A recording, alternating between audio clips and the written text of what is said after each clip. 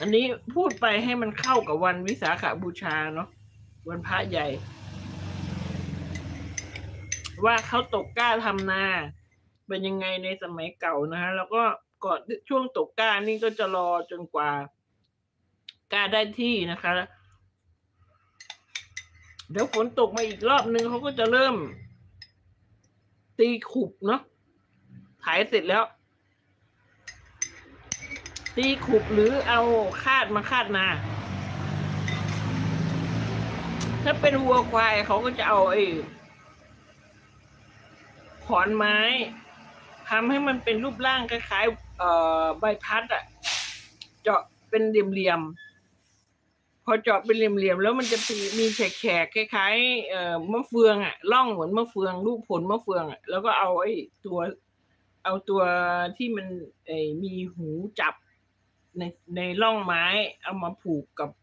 ตัวเรือนสำหรับลากให้เทียมกับวัวได้นะ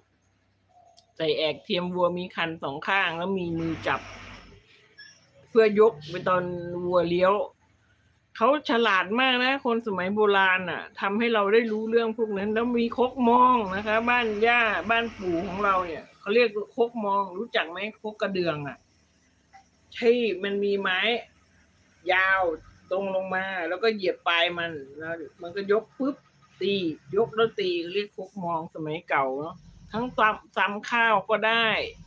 ตำเมล็ดอะไรเมล็ดพันธุ์อะไรก็ได้ให้เปลือกมันออกนะคะ แล้วก็มาตำขนมจีนก็ยังได้เลยนะถ้าไม่มันมีโคกสองชนิดนะคะโคกตั้งกับโคกนอนเนาะสองชนิดที่ใช้สากตำสองข้าง สากเขาก็จะทำ มีมือจับระหว่าง แล้วก็มีปลายสองข้าง เราสามารถใช้ทั้งปลาย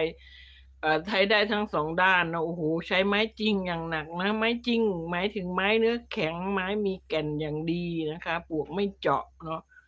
คนโบราณนี่ทำให้เราได้เรียนรู้แล้วคนสมัยนี้ไม่ทำนะคะทำอะไรก็ไม่เป็น บางคนยังไม่รู้เรื่องเลยนะคะ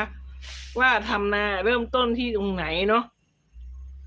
แล้วก็มานั่งดู YouTube ว่าเขาทำอะไร ยอดวิวก็ขึ้นมาก ๆ ประมาณนี้เนาะเรื่องง่าย ๆ กลายเป็นเรื่องยากของคนยุคนี้ เพราะว่าสังคมก้มหน้านะคะ แต่ว่าคนยุคนี้ก็เหมือนกับว่าเราเห็นโลกกว้างขึ้นโดยโลกไร้พรมแดน ถ้าเราเอามาใช้ในทางที่ถูก social network นี่มันทำคุณประโยชน์ให้มหาศาลมากเลยนะคะ แต่ถ้าเราใช้ในทางที่ผิดมันกลายเป็นเรื่องล่อลวงหลอกลวง เป็นอาชญากรรม อาชญากรไปด้วยในตัวเนาะแล้วอีกเรื่องหนึ่งก็คือคนยุคนี้คนที่ฉลาดที่สุดก็ตกเป็นเหยื่อเออคนโง่ที่สุดก็เป็นตกเป็นเหยื่อของคนฉลาดนะคะ ก็จะมีกลุ่มเนี้ยนะคะ ถ้าเขาทำงานหลบเลี่ยงภาษีเมื่อไหร่เขาก็จะโดน แต่ว่าจากนั้นมาเขาก็เปลี่ยนการที่จะถูกโดนภาษีย้อนหลัง หรือปิดไปเขาก็มาเปลี่ยนเป็นการทำการค้าออนไลน์เขาก็จะคิดเป็นออเดอร์ ธนาคารแต่ละแห่งเนี่ยถ้าหนึ่งเดือนนะคะ เรามีสี่ร้อยสี่ร้อยครั้งเงินเข้าออกเกินเข้าเงินออกธนาคารเรานี่จะต้องเสียภาษีถูกต้องตามกฎหมายนะคะ ถ้าเราไม่เสีย เดี๋ยวธนาคารก็รายงานเองว่ารายได้ของเราแต่ละวันเท่าไหร่แม่ค้า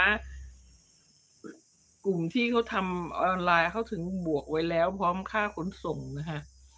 อันเนี้ยมันก็เป็นการทำการค้าอีกแบบหนึ่งแต่ถ้ากลุ่มคนที่เขายังฉลาดอยู่เขาไม่ยอมจ่ายภาษีหนีแท็กอะไรอย่างเงี้ยก็อีกเรื่องหนึ่งนะคะ ก็แล้วแต่จะตรวจสอบนะแต่ถ้าตรวจสอบเจอย้อนหลังก็จะไม่ได้เงินเลยนะกลุ่มที่เขาทำแบบนั้นเขาจะได้รับเงินกันอย่างไวธนาคารก็จะปล่อยให้กู้เขาก็สร้างตึกสร้างบริษัทขึ้นมานะ ราคาพันล้านห้าร้อยล้านขึ้นไปเป็นหมื่นหมื่นล้านก็มีแล้วนะคะ เพราะความฉลาดที่เราแบบเขามั่นใจว่าเขาทำได้นะคะ บางทีก็อาจจะพลาดในวันหน้าก็ได้ มันก็มีเรื่องหลายเรื่องที่เราศึกษาไปแล้วมองเห็นเนาะแล้วก็อะไรที่หย่อนยานในยุคนี้ก็คือเนี่ยอย่างนี้ที่เห็นเราเห็นไม่เอาเรื่องที่ไม่ดีมามาออกสื่อกันเยอะเลยนะคะ แล้วก็คนหยาบคายบางคน พูดจาผงผางเด็กเอาอย่างนะคะวิ่งไล่วิ่งตีกันนะคะ แล้วก็ทะเลาะกันเด็กเอาเยี่ยงเอาอย่างนะคะด่ากันแบบไม่เกรงใจนะคะ เวลากลุ่มที่เขาเข้ามาประท้วงหรือทำอะไรก็ได้กลาย